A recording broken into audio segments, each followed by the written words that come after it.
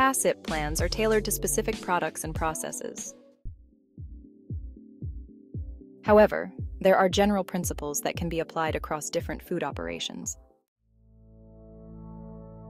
While generic HACCP plans can provide a useful framework, it's crucial to adapt them to the unique conditions of each facility. Before diving into the core HACCP principles, several essential steps must be completed. Key initial steps. Assemble the HACCP team, bring together individuals with diverse expertise. Define the food product. Clearly outline the product, its characteristics, and intended use. Understand the distribution chain. Map out how the product will move from production to the consumer. Create a process flowchart. Visually represent the steps involved in producing the food. Verify the flowchart.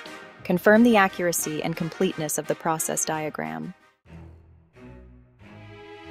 By following these steps, you create a solid foundation for building an effective HACCP plan.